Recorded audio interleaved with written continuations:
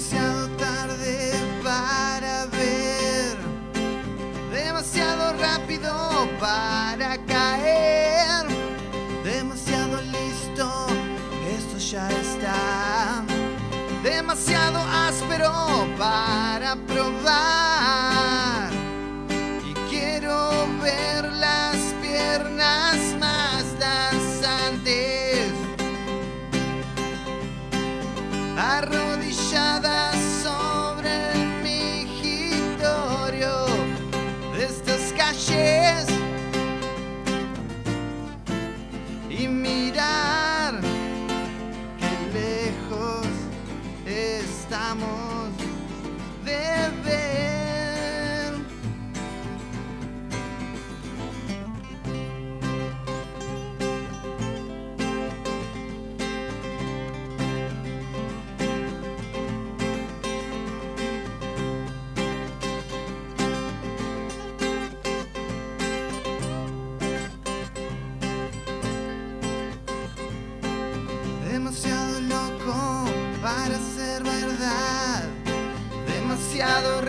De felicidad.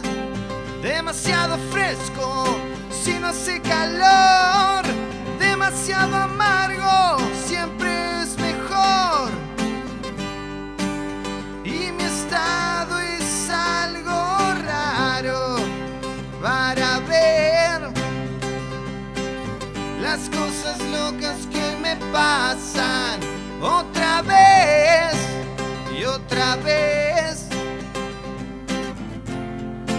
ya me cansé de golpearme la cabeza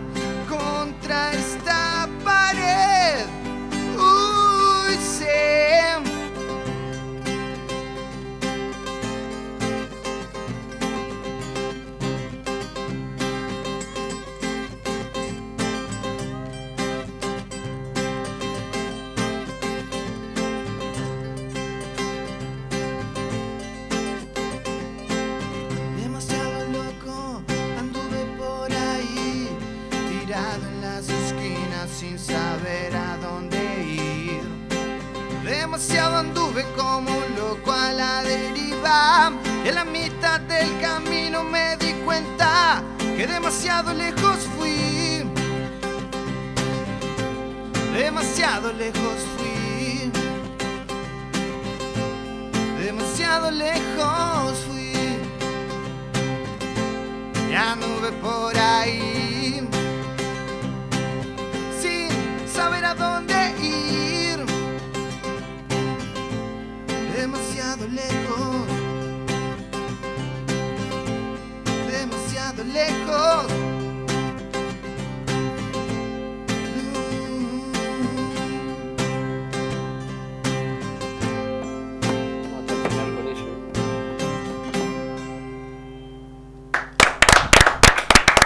Excelente, excelente, la verdad. Muy buena, Excelente propuesta la de muy la buena banda, obviamente que va a estar eh, mañana eh, en San Patricio eh, presentando, entre otras cosas, eh, el disco, eh, como es Ríos de Libertad, este disco que, eh, chicos, salió, me contaban, en noviembre, ¿no? noviembre, así es. Bueno, ¿Y qué, a ver, qué tiene eh, de particular eh, este disco para ustedes, ¿no? Después de, de haberlo armado, escuchado y obviamente después de, sonar en vivo, ¿no? Bueno, particularmente lo grabamos en un estudio muy, muy importante de Buenos Aires, bajo la producción también de un productor grosso que es Álvaro Villagra. Y bueno, estar en esos lugares míticos del rock donde se graban discos que escuchás cuando sos chiquito y vas creciendo y siguen teniendo esa misma importancia o más aún. Y bueno, esa es una particular, particularidad muy grande que tiene el disco, digamos, ¿no? Eh, haber tenido esa oportunidad de estar ahí y, y aprendiendo, porque es, siempre decimos es como ir a la facultad. Cuando vas a grabar aprendes un montón de cosas nuevas, de cómo sonar, cómo componer y millones de otras cosas más. Porque es la, es la cocina, ¿no? Realmente todo lo que uno puede armar, eh, seguramente una parte es el armado de los temas, ¿no? Cuando uno empieza, seguramente las notas, las voces, pero después cuando entra al estudio es como que parece que todo puede ya- llegar a cambiar, claro, ¿no? ahí se van aparte- afinando todo. Aparte ahí en el estudio lo que pasa es que se escucha todo. Claro, sí. Eh, el en mínimo... ensayo siempre hay mucho ruido y pasan desapercibidos todos los, todos los barritos, digamos, pero ahí es, es todo muy, muy profesional, digamos, y hay que hasta, hasta te asustan a boca y cosas que vos Sí, decías, hay ¿de que, bueno, salieron es, estos es- sonidos? es un no? encuentro, con- es un espejo muy, muy fuerte, digamos, para la banda. eh, por eso el crecimiento es buenísimo en el estudio, porque te encontrás realmente con lo que estás haciendo y, todo lo que hay que corregir, ¿no? Eh, y la figura del productor artístico en ese, en ese aspecto es muy importante porque está ahí como un director técnico, ¿no? Diciendo que sobra y que falta.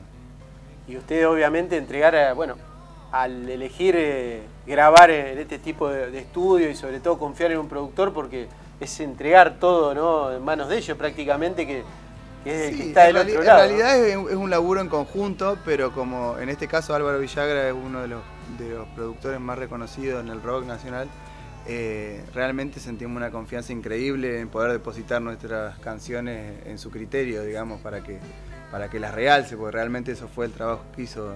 Eh, nosotros le llevamos un trabajo ya bastante pulido de ensayo nuestro, lo que sería la preproducción, y él terminó de darle el ¿En cuánto toque. cambió de lo que ustedes cuando salieron de Paraná a Buenos Aires y, y volvieron con, con este Fue el- lo que nosotros hicimos fue eh, abrir el paraguas, digamos, y llevamos mucho material grabado, eh, tanto de voces como de guitarras. eh, y entonces cuando llegamos allá para hacer la última mezcla, eh, él ya tenía contaba con mucho material y lo que tuvo que hacer más que nada fue Elegir. disi- disipar, Claro, sacar. Fue bastante libre el, todo el el la cocina del disco. Nosotros metimos muchas cosas y llegó él y pintó con colores. utilizó de lo que llevamos el, el 50% y lo otro lo desechó. Que está bien que era la idea nuestra también. eh, llevamos todo como para que él pueda tomar, Elegir lo eh, mejor. elegir lo que consideraba que funcionaba más para las canciones. Entre sus dos trabajos, chicos, porque ustedes ya tienen otro, otro material previo, eh, ¿cómo ven la diferencia entre uno y otro? Es decir, la banda viene desde ya hace un par de años, desde el año 2000 más o menos, ¿verdad? Así es. Y bueno, ya tienen dos materiales de estudio. ¿Cómo comparan uno con el otro y cómo ven el crecimiento de ustedes mismos entre material y material? En realidad eh, tenemos tres discos. Eh, salió el primero en el 2006, eh, lo grabamos en la ciudad de Paraná. Eh, como primera experiencia fue muy positiva porque fue el primer encuentro de nuestras canciones con la gente. Eh, mucha gente inclusive se sigue sintiendo identificado también con las canciones de ese disco.